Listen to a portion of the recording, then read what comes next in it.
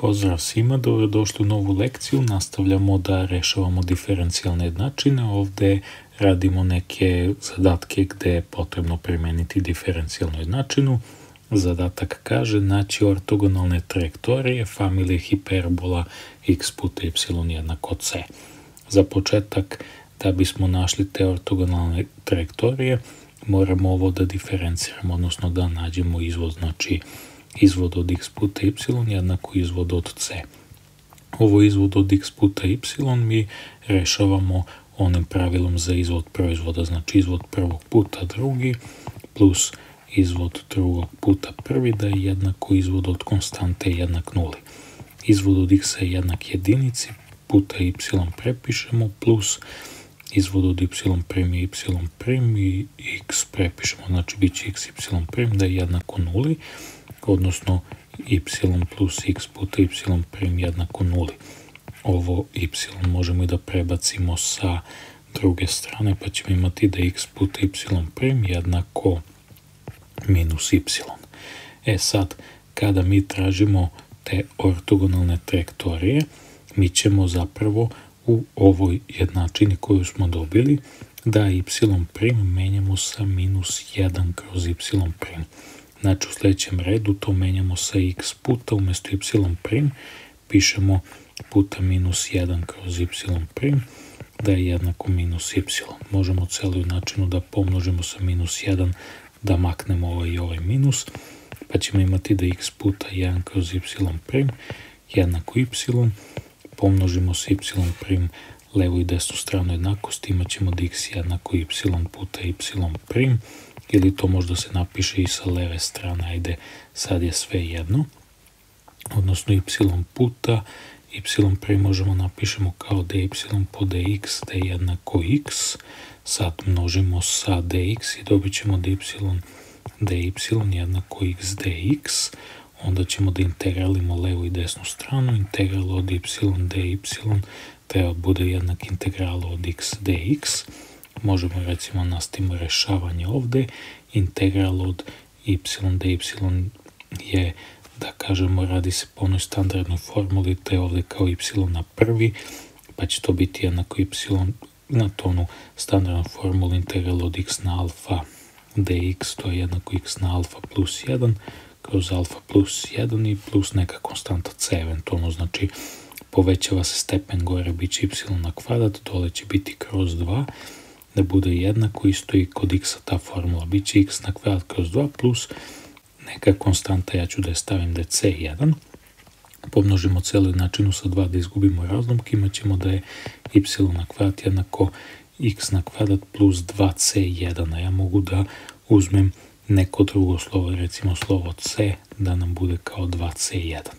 I ovde ću ostavim da je to plus c. I sada uzmemo, prebacimo ovo x na kvadrat sa leve strane, imat ćemo da y na kvadrat minus x na kvadrat jednako c. Dakle, rešavanjem ovog zadatka smo zapravo dobili ortogonalne trajektorije od neke druge familije jednakostraničnih hiperbola ili u posebnom slučaju možemo da dobijemo neki par linija y jednako plus minus x ukoliko dobijemo u tom slučaju da je konstanta jednaka nuli. I to je to dakle što se tiče ovog zadatka.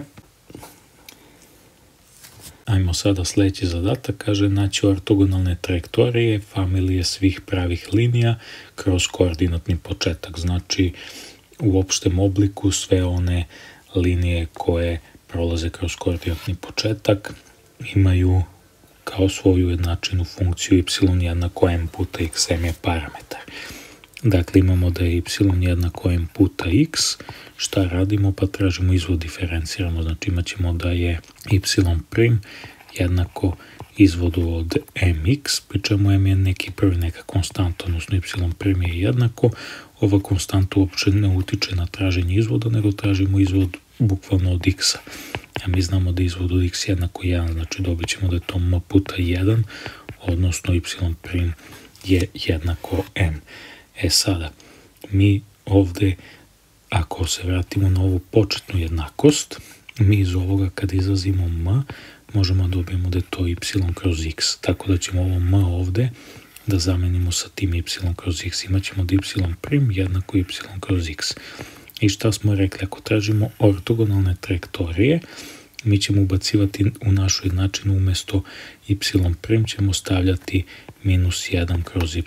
Dakle, umjesto ovoga ovde ćemo napisati minus 1 kroz y da je jednako y kroz x. I sad može da se uradi na više načina, možemo ovako unakrsno da izmnožimo, imat ćemo y, da je jednako minus x puta 1, odnosno minus x, odnosno y puta, umjesto y prim pisat ćemo dy po dx da je jednako minus x, to jest imat ćemo kad pomnožimo sa dx da y dy jednako minus x dx i sada ćemo da integralimo levu i desnu stranu. Ajde, ja ću da nastavim negde ovde. Dakle, imat ćemo da je integral od y na kvadrat dy jednako minus integral od x dx. E, samo ovde y pogrešio sam.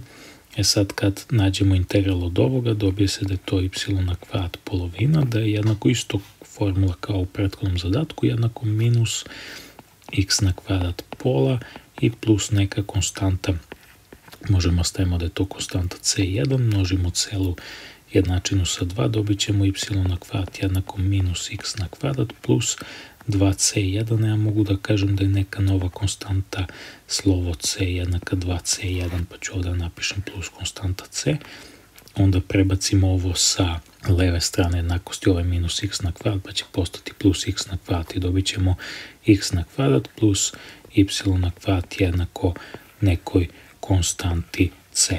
A šta je ovo?